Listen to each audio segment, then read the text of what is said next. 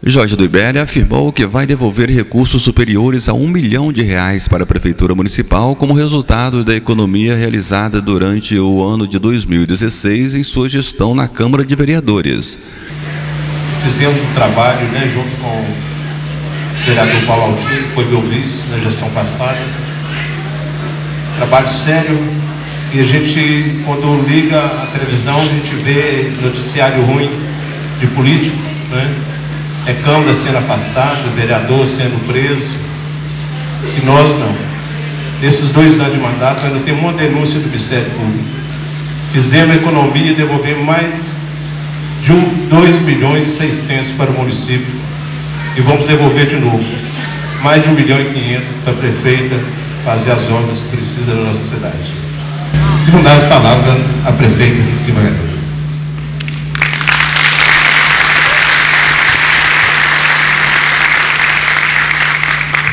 A prefeita Cici Magalhães garantiu que sua dedicação será total a Manhuaçu.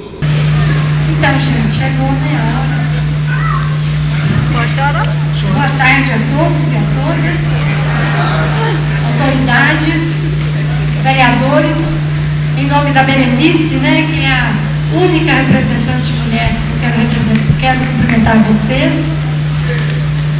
E, primeiramente, eu quero dizer o seguinte. Quando eu vi a Marcela cantando, ficou passando frio na minha cabeça. Porque são muitos anos, né? De porta em porta, conversando com a população. E eu desafio qualquer pessoa de Manhuaçu que conheça melhor os problemas dessa cidade, de cada distrito, de cada canto, como eu conheço. Aí fico vendo aqui a Maria da Casa Azul, a Janaína, a Dona Marta, a Célia da Martinha. Desculpa ainda não estar tá conseguindo são pessoas que estiveram comigo por mais de 20 anos, em todas as campanhas eleitorais. E nós sabemos que eu tenho um compromisso muito grande com esse povo, que é honrar o compromisso que eu tenho com Deus de governar para o cidadão que não tem voz. As pessoas mais humildes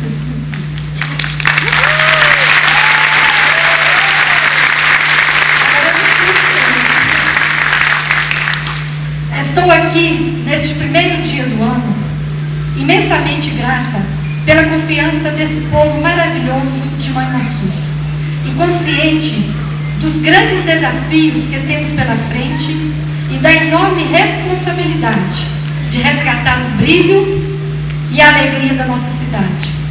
Agradeço a todos pelo apoio, incentivo e carinho que recebi durante toda essa caminhada, que foi longa. Tenho exata noção da minha responsabilidade nesse momento. A partir de hoje, minha dedicação à nossa querida Mãe Mossu será total.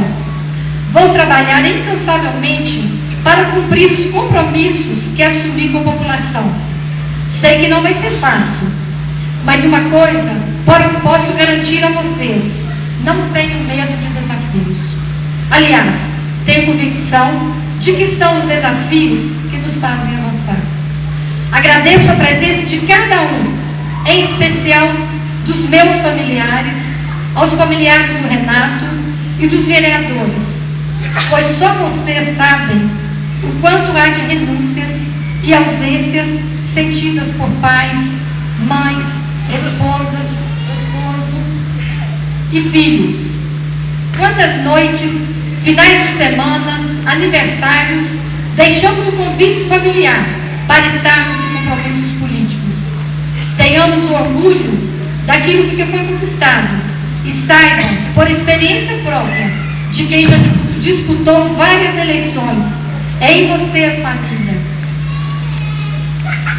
Que encontramos a força, a fé e o sentido de exercer uma tarefa tão difícil, contestada e fundamental como é a atividade política. Cabe a nós o dever de exercer esse mandato com nobreza e trabalho duro. Mas não estou aqui para iludir ninguém. Não vou prometer soluções milagrosas ou criar falsas expectativas. Os problemas da cidade não serão resolvidos da noite para o dia. As conquistas, nós sabemos, não caem do céu, não são servidas em bandeja de prata. As conquistas, para acontecerem, precisam de de muito trabalho, muito planejamento, muita dedicação e também de alguns sacrifícios.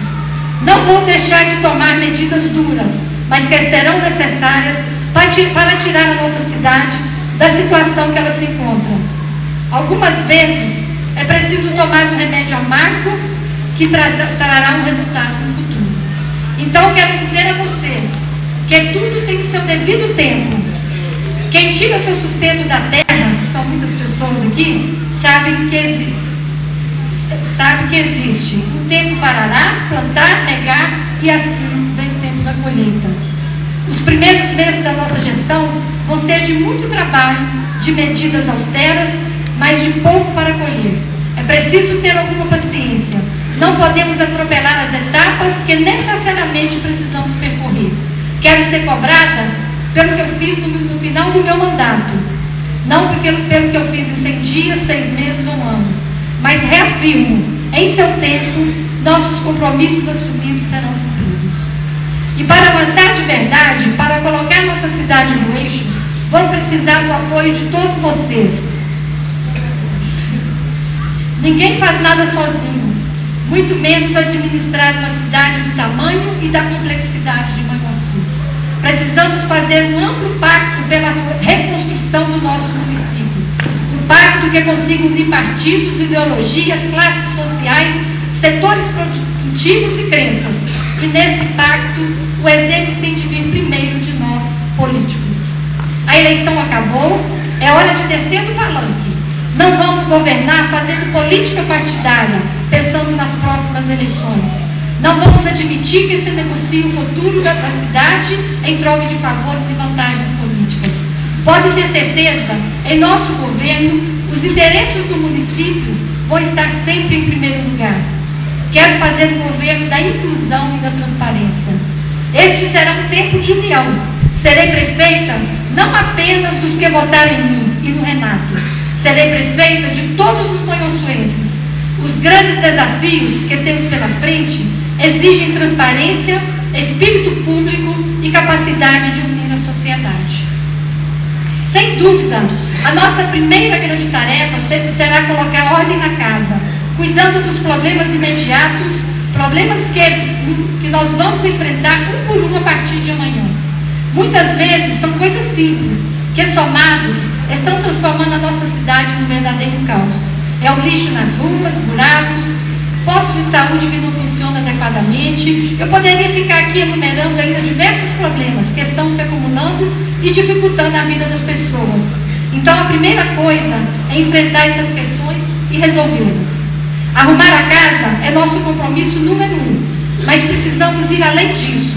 O prefeito não pode se contentar apenas em ser um mero síndico, ser um simples cumpridor de tarefa que vai resolvendo os problemas cotidianos à medida que eles vão surgindo. Temos que destacar cada vez mais como cidade polo, sede de uma micro-região. Precisamos desempenhar nosso papel de articulação política e pensar em conquistas que irão beneficiar toda a nossa região. Plantar sementes hoje que possam dar frutos no futuro. Daqui a quatro anos, quero ser cobrada pelos meus compromissos assumidos com a população Quer é uma cidade que não traga tanto desconforto no trânsito, dando melhores condições aos moradores também das cidades vizinhas, que nos ajuda a gerar emprego e renda. Quer uma administração muito mais próxima da população, com a implantação de uma gestão participativa. Não podemos aceitar como normal que a prefeitura leve semanas, às vezes meses, para resolver pequenos problemas que tanto atrapalham o dia a dia do cidadão.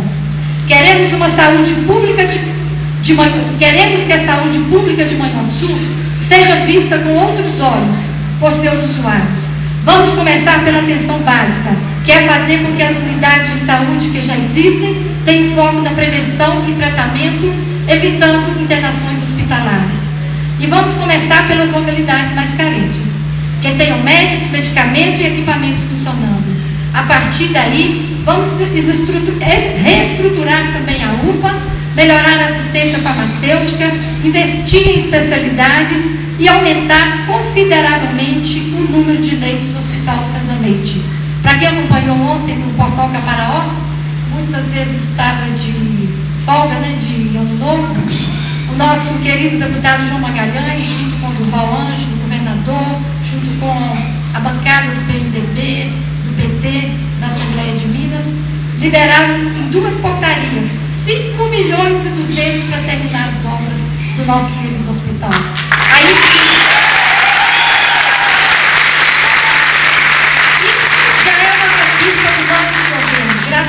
Deus. Obrigado, Joãozinho. Queremos uma, educa... Queremos uma educação que seja exemplo para as outras cidades. A educação precisa cumprir o seu papel de preparar as nossas crianças e jovens para o futuro. Daqui a quatro anos, queremos um município com mais segurança, com mais creches, escolas, praças, projetos sociais e culturais e esportivos. Dizem que, crise tra... que crises trazem também oportunidades.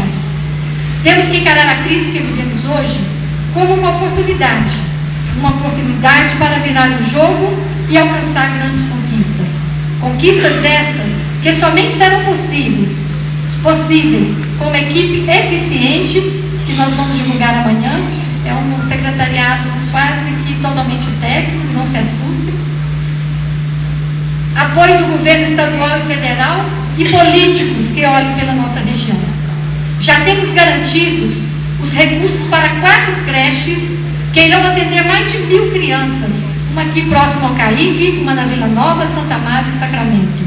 Temos também recursos, obrigado João Magalhães, obrigado subtenente Gonzaga. Temos também recursos para uma cota esportiva em Ponte do Silva e outra em Realeza. Temos também recursos para construir um ABS na Vila Nova, tipo 2, Dom Correia. E já em 2017, uma em Santa Amaro e Serra. Recursos também para construir um armazém de beneficiamento de café em Sacramento, destinado à agricultura familiar. Obra de mais de 1 milhão e 600 mil reais. Eu estou falando aqui, gente, assim, os valores maiores. Além disso, tem dinheiro para compra de ônibus, dinheiro para compra de carro para saúde, equipamento das UBS, reforma, Iremos construir uma escola infantil em São Pedro do Havaí, obra também de mais de Muitas outras vamos buscar, mas tudo isso só está sendo possível através do trabalho do deputado João Magalhães e do deputado federal subtenente Gonzaga, que é filho da Sofia. Obrigada. Aos familiares de Gonzaga aqui presentes, levo agradecimento do povo de Manhuaçu. Eu sei que Zé Carlos, o Pedro Paulo, eles estão aí, né? Leva um abraço do povo de Manhuaçu e o agradecimento. Agora chegou a hora em que as palavras terão um valor fundamental, pois a administração pública não pode ser exercida sem diálogo. Diálogo. Mas acima de tudo, agora é a hora da ação. É hora de arregaçar as mangas e colocar o discurso na prática. É hora de trabalhar duro, é hora de tornar o sonho possível, de verdadeiramente ouvir para governar. Durante a campanha, nós vamos criando esperança e confiança nas pessoas. Isso é muito sério. Não podemos brincar e nem criar falsas expectativas. Eu me lembro uma noite já tarde, na semana das eleições, algumas crianças na faixa de 9, 10 anos do bairro da Matinha começaram a conversar comigo sobre o nosso programa eleitoral, que foi até comentado hoje na, na missa, né, pelo padre, da rádio, onde existia aquele diálogo que acompanhou de duas crianças que dizia, mãe, nosso tem jeito, pode confiar. Aí elas me disseram que lá onde elas moram não tem área de esporte, não tem pracinha, enfim, falta tudo. E sentado no meio-fio, eu disse a elas que, que se fosse eleita, eu iria me esforçar muito para melhorar o bairro onde elas moram. Nunca vou me esquecer essas últimas palavras. A gente confia em vocês, assim. Não decepciona a gente, por favor. É isso. Uma cidade é feita de gente. Não podemos esquecer disso. São momentos como esse que mudam a gente por dentro. Nosso governo não vai ter medo do contato com o povo da poeira. O que não pode é passarmos a campanha inteira nas localidades carentes, que foram elas que me elegeram, eu fiz questão de buscar uma por uma, e foram as pessoas carentes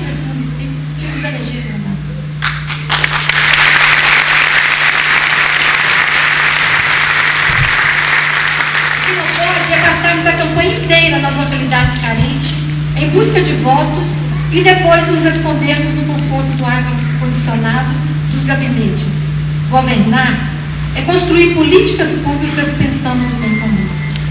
Aos representantes legítimos do povo, nossos 17 vereadores, fica a garantia de uma relação respeitosa da autonomia e importância do Legislativo Municipal, de fundamental importância para os desafios a serem enfrentados. Quero agradecer meu vice, meu amigo, parceiro, Renato da Banca, Elaine e toda a sua família. Eu conto com vocês. Quero agradecer de modo especial aos meus familiares, meu marido Alexandre, meus filhos Luiz, Luísa, Chaene, minha novinha, Dadá, que é minha irmã do coração, Dona Miriam, sou Márcio, enfim, toda a minha família. Obrigado por me amar, respeitar, apoiar as minhas decisões. Mas não posso deixar de prestar aqui uma homenagem mais que merecida ao meu irmão João Magalhães. Você, Joãozinho, além de irmão, é o maior amigo que eu tenho. Você me ama, gêmea. Obrigado pela confiança. Foi uma